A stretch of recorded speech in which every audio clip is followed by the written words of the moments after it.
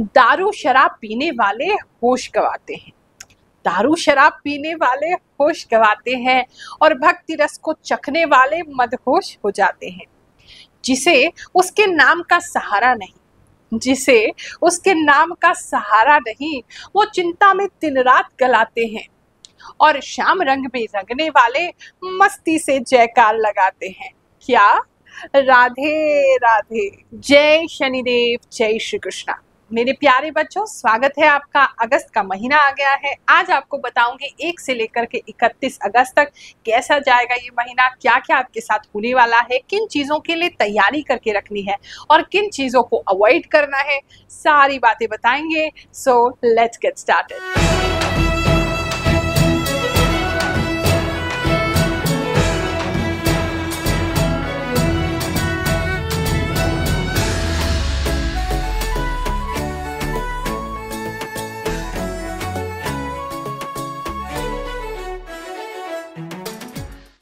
राशिफल प्रारंभ करने से पहले इस महीने के फेस्टिवल्स देख लेते हैं।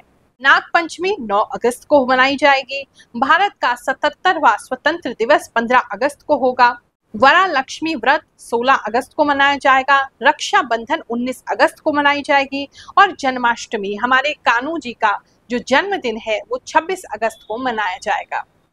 इस महीने कौन सा ग्रह कहाँ परिवर्तन करेगा, इस पर भी एक नज़र डाल लेते हैं। सूर्य 16 अगस्त से सिंह राशि में प्रवेश करेंगे। चंद्रमा 3 अगस्त को अपनी राशि कर्क राशि से स्टार्ट करेंगे और गोचर करते हुए लास्ट में भी कर्क राशि में बने रहेंगे। मंगल जो है वो वृषभ राशि से 26 अगस्त को मिथुन राशि में प्रवेश करेंगे। बुध जो है वो 22 अगस्त को सिंह राशि से वापस कर्क राशि में प्रवेश करेंगे, क्योंकि ये वक्री हो रहे हैं 5 अगस्त से लेकर के उनतीस अगस्त तक।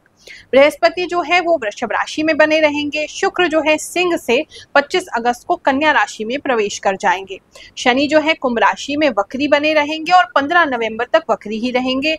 राहु मीन राशि में और केतु कन्या राशि में बने रहेंगे। ये जो राशि फल है आपकी चंद्र राशि के हिसाब से, यानी कि आपकी जन्म कुंडली में जो आपकी चंद्र राशि है, उसके हिसाब से आपके मून साइन के हिसाब से प्रिडिक्शन किए जाते हैं।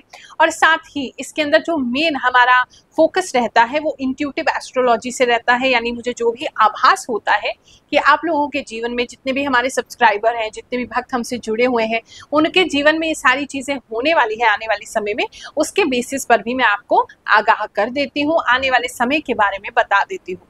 कुछ लोग कह रहे हैं, गुरु माँ, हमारे साथ बुरी घटनाएँ तो जल्दी हो जाती हैं, जो आप बता रहे हैं, वो बिल्कुल हंड्रेड परसेंट मैच करता है और अच्छी घटनाएँ एक दो होती हैं या कभी होती नहीं है। तो ऐसे में हो सकता है कि आपकी जन्म कुंडली में कोई ऐसी दशा चल रही हो, जिसके कारण अच्छे ग्रहों का प्रभाव आपको नहीं आ पा रहा है। तो ऐसे में किसी योग्य विद्वान से अपनी जन्म कुंडली ज़रूर चेक कराएँ और हमसे दिखाना चाहते हैं तो हमारे सिद्ध दरबार में आपका हमेशा ही स्वागत है। टोकन नंबर के द्वारा बुधवार को टोकन नंबर लीजिए, नीचे जो स्क्रीन पे नंबर आ रहे हैं या साइड में जो नंबर आ रहे हैं उस पर बुधवार के दिन आपने कॉल करना है। बाकी दिन फ़ोन स्विच ऑफ़ ही रहेगा, क्योंकि फिर आप बहुत ज़्यादा कॉल करके परेशान करते हो। तो इसीलिए बुधवार को ही ये हेल्पलाइन खोली जाती है चार से छह बजे तक, जिसमें गुरुवार के लिए टोकन दिया जाता है। तो पचास लोगों की गुरुवार को टोकन मिलेगा, वही हमसे कुंडली दिखाने आ सकते हैं। बाकी मंगलवार और शनिवार को भी दरबार लगने लगा है, और लाल मंदिर वेस्ट पटेल नगर, बलजीत नगर में लगाया जाता है। लेकिन समय समय पर आयोजित होता है क्योंकि वहाँ फंड्स की ज़रूरत है फ्री नहीं है वो स्पेस तो जैसे ही लोग मिल करके उसको ऑर्गेनाइज करते हैं, हम वहाँ पर निशुल्क दरबार ज़रूर लगाते हैं।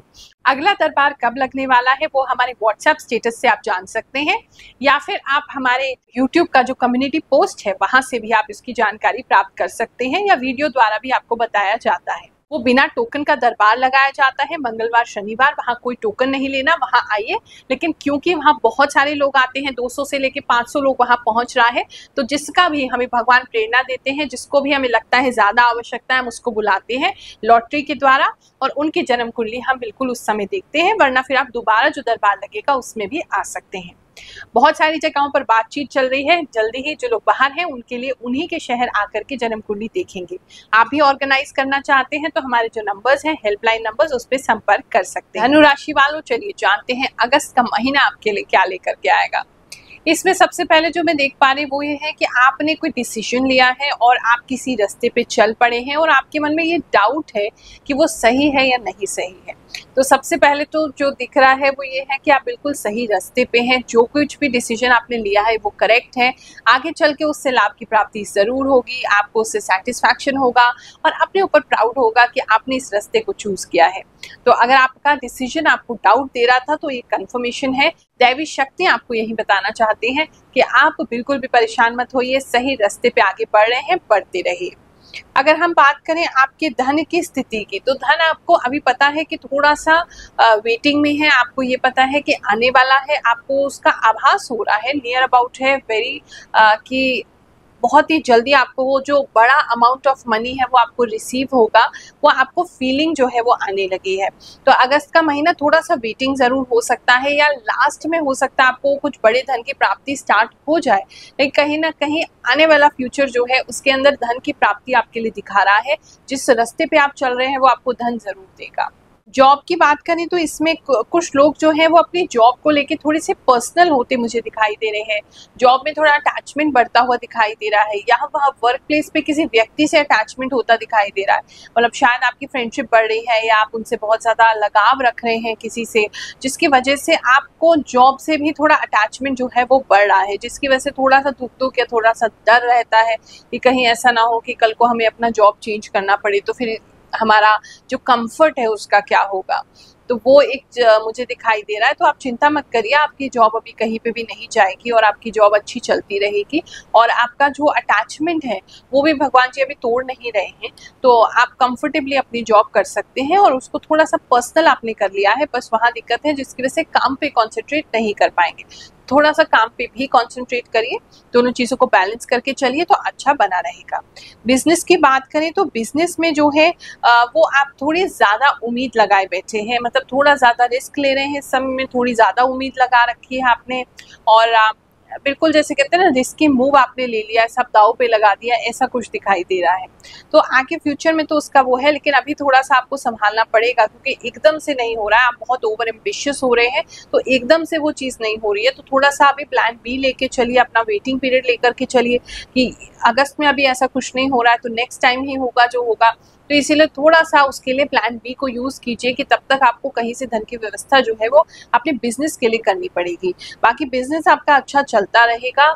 लोग जो है वो मतलब अलग अलग जगहों पे आपकी पब्लिसिटी करते दिखाई दे रहे हैं। अगर आप किसी भी प्रकार का मार्केटिंग संबंधी कोई एक्शन आपने लिया है, बहुत सारे लोगों को जोड़ रहे हो जो मार्केटिंग करें आपके लिए तो वो दिख रहा है अलग अलग लोग जो हैं वो आपकी सेल्स करते दिखाई दे रहे हैं या आप डिस्ट्रीब्यूशन में है तो आपकी अलग अलग जगह डिस्ट्रीब्यूशन हो रहा है।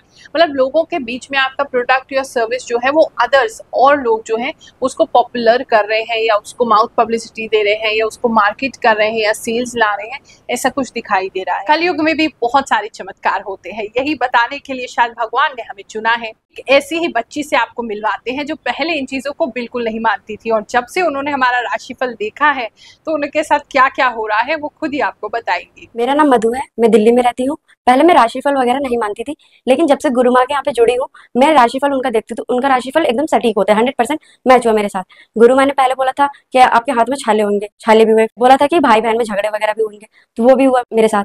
ऐसी बहुत सारी चीज़ें मेरे साथ हुई है। जो भी गुरु माँ राशिफल में बताइए वो सब बातें मेरे साथ हुई है। और आप भी यहाँ पर आकर अपना कुंडली दिखवाए गुरु माँ से और जो भी उपाय बताती है वो सब भी करें और अपना राशिफल देखें। हंड्रेड परसेंट मैच करता है और ये दरबान बिल्कुल निःशुल्क लगता है। अगर आप फ्रेंचाइजी के लिए सोच रहे हैं अपने बिज़नेस को लेकर के तो फ्रेंचाइजी में जा सकते हैं। उसमें काफ़ी बेनिफिट आपको वहाँ से आपको मिल सकता है। धन की बात करें तो इस समय धन जो है वो आपका जो सेविंग्स है वो वैसा ही बना रहेगा उसको तोड़ने की ज़्यादा ज़रूरत नहीं पड़ेगी। आ, लेकिन अभी थोड़ा सा जैसे मैंने बताया वेटिंग पीरियड है तो थोड़ा मैनेजमेंट आपको धन का करके चलना पड़ेगा कि ऐसा नहीं है कि बहुत ज़्यादा खर्चे आप करें बाकी सेविंग्स को अभी नुकसान होता नहीं दिखाई दे रहा है। लव लाइफ की बात करें तो इस समय आपके पार्टनर से आपको सपोर्ट ज़रूर मिलेगा। आप एकदम अपने आप को एक दूसरे की तरह मिरर करते हुए देखेंगे, आप एक दूसरे की तरह सोचते हुए देखेंगे, दोनों के एक्शंस जो है वो एक साथ होंगे, एक ही तरीके के होंगे। हो सकता है आपके घर में भी वही चीज़ हो रही है, उनके घर में भी वही चीज़ हो रही है। तो मतलब कहीं ना कहीं दोनों की लाइफ जो है वो एक जैसी इस समय में होती दिखाई दे रही है और आपस में अच्छा कॉर्डियल रिलेशन आपका बना रहेगा अगर रिलेशनशिप में आप हैं। अगर आप सिंगल हैं और आप ढूंढ रहे हैं कि आप कोई कोई रिलेशनशिप स्टार्ट कर सके या कोई मैरिज का प्रपोजल आपको मिले तो इस समय आप काफ़ी ईगरली अगस्त के महीने में ढूंढते हुए दिखाई दे रहे हैं। और कई सारे लोग जो हैं वो आपको अप्रोच भी कर रहे हैं, आपसे मुलाकात भी हो रही है, आप किसी ऐप को इसके लिए यूज़ कर सकते हैं। जब बहुत सारे लोग जो हैं वो आपकी तरफ़ अट्रैक्ट हो रहे हैं तो जो सिंगल्स हैं उनके लिए ये मंथ बहुत ही इंपॉर्टेंट हो सकता है कि आपको काफ़ी सारे लोग आसपास जो हैं वो मिल जाए। फैमिली लाइफ की बात करें तो फैमिली से थोड़े कटे कटे और दूर रहते हुए पता नहीं क्यों आप दिखाई दे रहे हैं। um, कोई शायद आपने किसी को कुछ कह दिया है जिसकी वजह से अब आपको थोड़ा सा गिल्ट हो रहा है या आपने किसी तरीके से उनको कुछ बोल दिया है। मतलब आपकी सिचुएशन आप ठीक से उन्हें एक्सप्लेन नहीं कर पाए हैं अपनी फैमिली में, जिसकी वजह से आप थोड़ा कट रहे हैं, बच रहे हैं, उनसे बात नहीं करना चाह रहे तो फैमिली से कहीं आप कटते हुए, दूर होते हुए दिखाई दे रहे हैं अपनी विल से। वो तो आपके लिए खड़े हैं, वो तो आपसे प्यार करते हैं, लेकिन समझ नहीं पा रहे तो थोड़ी मिसअंडरस्टैंडिंग फैमिली लाइफ में हो सकती है। हेल्थ की बात करें तो अपनी मदर या अपनी ग्रैंड मदर की हेल्थ का आपको थोड़ा ख्याल रखना होगा। वहाँ थोड़ा सा उनको रेस्पिरेटरी प्रॉब्लम जो है वो हो सकती है। एजुकेशन की बात करें तो आपको काफ़ी सारे ग्रुप स्टडीज़ आपको मिल सकती हैं। अपने फ्रेंड्स से, अपने जो भी स्टूडेंट्स हैं फेलो स्टूडेंट्स हैं, उनके साथ मुलाकात आपकी हो सकती है और आप मिल करके किसी पेपर पे डिस्कस करते हुए या किसी एग्जामिनेशन पे डिस्कस करते हुए मुझे दिखाई दे रहे हैं। तो वहाँ से भी कुछ जैसे कोई चीज़ आपको नहीं याद आ रही है या कुछ पता नहीं है तो वो कोई इन्फॉर्मेशन आपको फेलो स्टूडेंट के द्वारा इस समय में आपको मिलेगी। आपके खुद के हेल्थ की बात करें तो हेल्थ तो मोर ओवर अच्छा है लेकिन थोड़ा सा आलस रह सकता है थोड़ा सा आ, क्योंकि आपको वेटिंग करना पड़ रहा है सोचना पड़ रहा है ज़्यादा किसी चीज़ के बारे में तो बॉडी थोड़ी सी हैवी लग सकती है और आपको कुछ लोगों के लिए स्पेसिफिक ऐसा है कि उनके हार्ट में जो है वो पेन उठ सकता है तो अगर थोड़ा सा भी कोई प्रॉब्लम है आप डॉक्टर को ज़रूर दिखाइए। अब आपको बताते हैं इस महीने का महा उपाय इस महीने आपने एक विशेष उपाय करना है, क्योंकि जन्माष्टमी आ रही है। ये उपाय जो है, हर राशि का जातक कर सकता है, कोई भी व्यक्ति कर सकता है और आपको अवश्य ही लाभ की प्राप्ति होगी।